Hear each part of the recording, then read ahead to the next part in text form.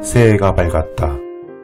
희망찬 한 해를 설계하려는 시민들은 정초부터 충격적인 발언을 듣게 됐다. 여당 대표인 더불어민주당 이낙연 대표의 전직 대통령 이명박 박근혜의 사명 관련 발언이었다. 이 대표에게는 사명권이 없다. 오로지 사명권은 대통령의 몫이다. 그것을 너무도 잘 알고 있는 그가 왜 하필 이 시점에 정초부터 대통령에게 사면을 건의하겠다고 했을까? 문재인 정부는 촛불 정부이다. 촛불은 국정농단을 벌인 전직 대통령들에 대한 준엄한 국민의 심판이며 혁명이었다. 즉, 전직 대통령들에 대한 사면은 촛불 시민들의 충분한 공감이 이루어져야만 가능하다. 어쩌면 문 대통령 또한 이 부분에서는 자유로울 수 없다. 그런 문제를 이낙연 대표는 국민 대통합이란 말로 포장했다. 진보 보수를 아우르는 이념적 대통합, 과연 가능할까? 그것을 이룬 나라, 정부가 있을까? 설령 이룬다 한들 아직 멀고 먼 이야기며 교과서적인 발언이다. 그런데 하필 그런 문제를 여당 대표인 이낙연 대표가 말했을까? 사면 발언은 대통령만이 할 수 있는 사안이 아닐까? 그것도 충분한 국민적 공감대가 형성된 다음의 말이다. 촛불 민심을 배반한 이낙연 대표의 발언을 여야의 대립 구도에서 보자면 쉽게 납득하기 어렵다. 하지만 이념적 진영 따윈 필요 없는 여야를 넘나드는 기득권 동맹의 관점에서 보자면 그 이유를 명확하게 들여다볼 수 있다. 윤석열은 국립현충원을 방문해 조국에 헌신하신 선열의 뜻을 받들어 바른 검찰을 만들겠다고 했다. 그 순간 열린공감TV는 지난 수개월 동안 탐사 취재해온 옵티머스의 실제 주범들의 근원 목소리를 분석하고 있었다. 1조 5천억 대의 펀드 투자 사기로 일반 투자자들에게 5천억이 넘는 피해를 입힌 옵티머스 사기극의 주범들이라 할 수 있는 그놈들 중 상당수는 지금도 아무렇지 않게 공정과 정의, 화해와 타협을 외치고 있다. 옵티머스 대사기극에 투자한 공기관과 금융기관들은 대부분 돈을 회수해 갔다. 실제 피해를 입은 사람들은 시민들이었다. 1월 4일 밤 열린공감TV는 경향신문 탐사 전문기자 강진구 기자와 시민기자 차이나랩 김두일 대표와 함께 장장 5시간에 걸쳐 분칠하지 않은 그놈들 목소리를 생생히 고발했다. 옵티머스 펀드 사기극에 동원된 옵티머스 회장으로 불리는 양호 전 나라은행장과 김재현 대표이사는 사내 전화를 이용할 때 자신들의 목소리가 녹취된다는 사실을 전혀 눈치채지 못했다. 덕분에 열린공감TV는 박근혜 최순실 국정농단 세력에 대한 특검에서 윤석열과 한 팀을 이뤘던 법무법인 대륙아주의 이규철 변호사가 금융사기범들과 의기투합하는 과정을 생생히 지켜볼 수 있었다. 금융사기범들은 이규철 변호사를 통해 검찰은 물론 김앤장 변호사의 손길이 미쳐닿지 않은 대법원까지 로비를 시도했다. 그리고 대륙아주를 통해 연결된 현직 대법관이자 법원 행정처장인 조대현이 초대 공수처장 후보 추천위원장까지 맡았다는 사실에 아찔했을 것이다. 이번 기획의 목표는 정권 교체와 상관없이 금감원, 검찰, 대법원을 주물럭거리며 대한민국을 실질적으로 지배하는 현대판 밀본 세력의 존재를 더 많은 사람들에게 알리는 것이다. 어쩌면 박근혜 국정농단 세력 특검팀에서 만난 윤석열과 이규철은 이들 밀본 세력의 2차, 3차 하청업체에 불과할지 모른다. 당연히 이들은 촛불 민심보다는 자신들을 지금의 자리에 있게 한 밀본을 지키는 것이 더 중요할 수밖에 없다. 그리고 지금 그들은 재벌, 언론, 검찰, 사법부까지 동원해 윤석열을 통해 잃었던 정권을 되찾아오기 위한 역모를 꾸미고 있는지 모른다. 한때 기득권 카르텔 동맹의 일원이었던 이낙연은 당연히 이들과 치열한 전쟁보다는 타협을 선호할 수밖에 없다. 이낙연에게 밀본을 무너뜨리는 것보다 밀본의 간택을 받아 청와대에 입성하는 게 더 현실적일 수 있다. 정경련의 실세였던 이승철 전 정경련 부회장과 김순규 전 국정원장 등 이들은 모피아 대부 이현재 전 경제부총리와 두 가지의 충족 요건에 부합되는 사람을 찾았다. 첫째, 현 정부 친여권 사람이어야 할 것. 둘째, 부실하고 어려운 자산 운용사여야 할 것이다. 친여권 인사여야 하는 이유는 훗날 도모한 계획이 두통날 경우 이를 뒤집어 씌워버릴 수 있어야 하기 때문이며 부실한 자산 운영서야 하는 이유는 자신들이 경영권을 쉽게 빼앗아 올 수 있어야 하기 때문이다. 그런 사람이 나타났다. 이현재 부총리의 먼 친척인 이혁진 에스크베리타스 대표였다. 이들은 경기고 인맥인 양호 전 나라은행장을 통해 이혁진 대표의 회사를 손에 넣을 설계를 한다. 업계 독보잡이라 할 수 있는 김재현이란 사람을 이혁진 대표 고교 후배인 홍동준으로부터 소개받는다. 그리고 홍동진과 김재현은 이혁진 대표에게 옵티머스로 사명 변경을 요구한다. 그들을 움직인 건 양호였다. 양호는 옵티머스 경영권을 찬탈했다. 결국 이혁진 전 대표는 주총장에서 강제로 끌려나가는 수모를 당해야만 했다. 그렇게 자신의 회사를 뺏긴 그에게 모든 언론은 옵티머스 몸통이 이혁진이며 사기꾼으로 몰아버렸다. 주진우 기자는 자신의 라디오 방송에서 이혁진 대표에게 지금 미국으로 도망가신 거죠? 라고 물을 정도로 이혁진 대표는 검찰의 수사를 피해 도망가버린 파렴치범으로 만들었다. 이헌재와 양호는 화려한 인맥을 통해 옵티머스 대사기극을 벌였다. 최흥식 금감원장, 조재연 법원 행정처장, 김하중 국회 입법조사처장 등을 활용했다. 이들을 관리 감독해야 할 금감원 직원들은 태도가 달라졌다. 감독기관이 아닌 컨설팅기관 직원들이 돼버렸다. 그들은 옵티머스의 불법을 감시 감독할 생각은 안 하고 오히려 옵티머스 민원 해결을 위해 총력을 기울였다. 금감원 감독실을 방문한 옵티머스 변호사가 이렇게 우호적인 경우 처음 봐 라고 환호할 정도였으니 이들의 사기극은 거침이 없었다. 검찰은 이 거대한 사기극을 멈출 수 있었다. 2017년 말 검찰에 옵티머스 레포펀드 불법 전용 신고가 접수됐다. 2017년 12월 이혁진은 김재현을 서울중앙지검에 고소했다. 전파진흥원에서 투자받은 돈을 용처와 다르게 부실 기업인 성지건설의 인수를 위해 NGB 파트너스 정한사채 매입에 사용했기 때문이다. 그런데 이 건은 제대로 수사가 이루어지지 않았다. 당시 이혁진 대표는 세 번이나 금감원 등의 진정을 냈었다. 하지만 검찰은 옵티머스가 원하는 대로 이혁진은 압박하고 옵티머스 횡령 사건은 수사를 축소했다. 이 막후에 이규철 대류가주 변호사가 있었다. 그리고 당시 수사를 담당한 서울중앙지검장은 이규철 변호사와 특검에서 근무했던 윤석열 현 검찰총장이었다.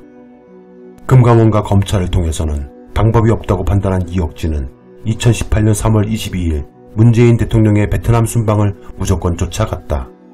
베트남에서 이혁진은 당시 유영민 과학기술부 장관, 현 청와대 비서실장을 만났고 전파진흥원의 옵티머스 투자를 감시해달라고 요청했다. 그리고 실제 2018년 4월부터 과기부는 산하기관인 전파진흥원에 대한 대대적인 감사에 착수한다. 만약 이 감사가 진행되지 않았다면 옵티머스의 사기 행각은 여전히 진행형이 되었을 것이고 피해 금액은 천문학적으로 불어나고 있었을 것이다. 감사를 통해 전파진흥원 투자금이 다르게 사용한 것이 큰 문제가 되어 드러났다. 결국 과기부는 옵티머스에 투자한 자금 회수를 지시했다. 전파진흥원의 자금 회수는 옵티머스에겐 큰 타격이 아닐 수 없었다. 이후 옵티머스는 후순위 펀드에 투자된 돈을 빼내 선순위로 투자자에게 돌려주는 돌려막기, 즉 폰지 사기를 본격적으로 시작했다. 전파진흥원은 일단 책임에서 벗어나야 했기 때문에 자금 회수와 더불어 검찰에 수사 의뢰서를 제출했다. 이때부터 옵티모스의 고문 이규철 변호사는 맹활약을 한다. 윤석열은 이 불기소에 대해 아무것도 아닌 사건처럼 국감에서 말했지만 표창장과 휴가증도 모든 검찰력이 총동원되어 수사하는데 정부 기금이 1천억이나 들어간 이 사건을 그는 의도적으로 뭉개버렸다. 2019년 5월 윤석열의 서울중앙지검은 또다시 두 번째로 옵티머스 사건에 대해 불기소 결정해버린다. 윤석열은 이렇게 옵티머스에게 면죄부를 주었고 이후 옵티머스에는 각 기업과 개인들의 투자금이 물밀듯이 들어갔다. 이때까지 약 1천억대 투자금이 검찰의 면죄부 이후 1조 5천억이 들어간 것이다. 그렇게 윤석열은 현재 5천억대에 이르는 막대한 서민 피해를 낳게 되는 옵티머스를 덮었다. 옵티머스는 거대하게 카르탈이자 대한민국의 현대판 밀본에 해당한다. 시민은 검찰개혁을 외치고 있지만 여전히 기득권 카르텔은 견고하다. 열린공감 TV의 옵티머스 사기극 추적 보도는 앞으로도 계속된다.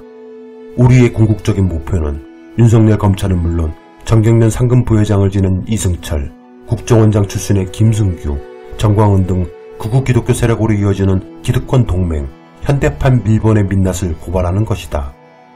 문제는 이들 사건에 이낙연 민주당 대표와 윤석열 검찰 간의 모종의 사인이 교환된 것이 아닌가 하는 정황이 보인다는 점이다. 부산 의전원을 나와 서울 을지병원 정신과 의사로 재직하며 의대 교수가 된 이낙연 대표의 아들이 급성장한 배경도 석연찮은 부분이 엿보인다. 검찰개혁의 한복판에서 외롭게 싸웠던 조국 추미애 법무부 장관에 대한 여당 대표 이낙연의 태도가 왜 어정쩡했는지 지금부터 합리적 의심을 토대로 말하고자 한다.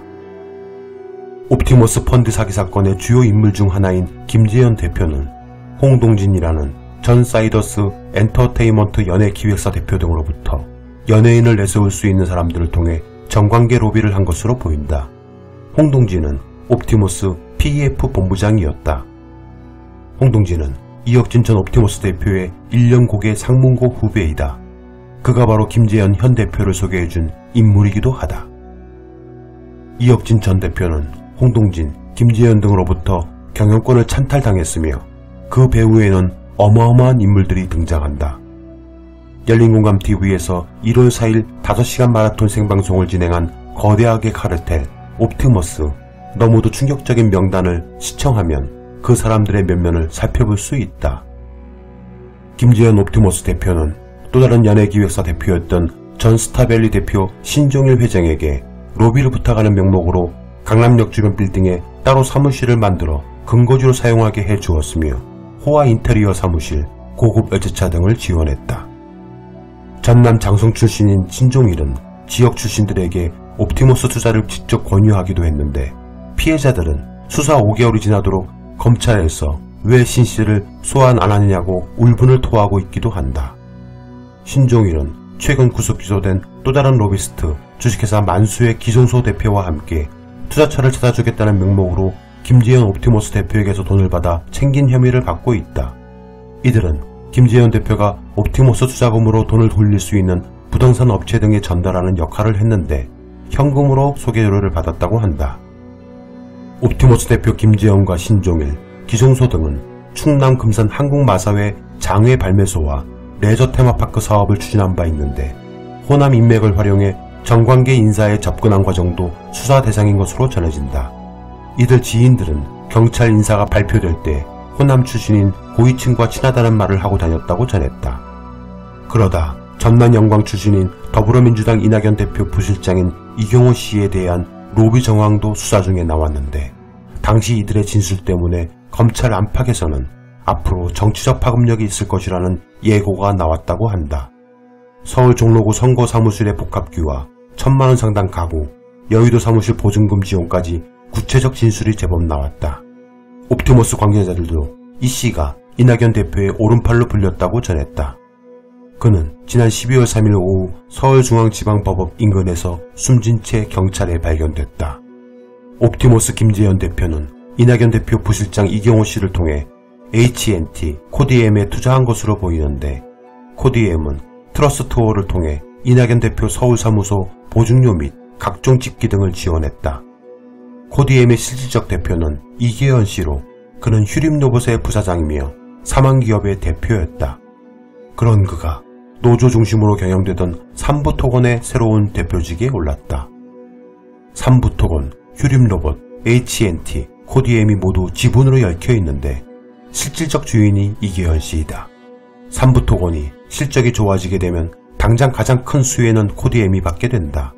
코디엠은 상장 폐지가 되어도 이상하지 않은 속칭 동전주였다. 그랬던 것이 테마주가 되어 급반등을 하고 있어 주목해야 할 곳이다. 삼부토고는 주나무 회장 일가가 오랫동안 방만한 경영으로 공중분해될 위기에서 가까스로 법정 관리를 통해 그동안 노조 측에서 운영해 왔으며 르네상스 서울 호텔의 사주가 주나무 회장이기도 했다. 2011년 동양건설산업과 알려진 내곡동 땅 개발 사업, 서초구 헌인마을 재개발 사업의 전환사채를 불법 발행하는 방식의 부실 경영으로 부실화 위기를 맞았다. 이에 본사는 금융기관들과 자율협약을 맺어 르네상스 서울 호텔을 담보로 7,500억 원을 지원받았으나 구조조정 실패로 2015년부터 회상 절차를 거쳐 2017년 DST 로봇 현휴림 로봇 컨소시엄에 매각됐다. 당시 삼부토고는 이러한 경영 악화 속에서도 조남원 부회장과 조남욱 회장 아들 조주현 부사장 사이의 경영권 다툼으로 인해 쌍방 엄청난 서초동 정관 변호사들을 무차별로 써대서 막대한 자금을 사용했다. 최규일, 양재택, 여상규, 정상명, 이인규, 홍만표 등 이름만 들어도 어마무시한 정관 변호사들이었다. 삼부토건을 인수해 대표가 된 이계원 씨는 이낙연 민주당 대표의 친동생이다. 현재 역삼동 사거리에 있었던 르네상스 서울 호텔은 철거되어 없어졌으며 그 호텔 지하에는 볼케이노라는 나이트클럽이 운영 중이었다. 그리고 그 볼케이노에는 줄리가 있었다.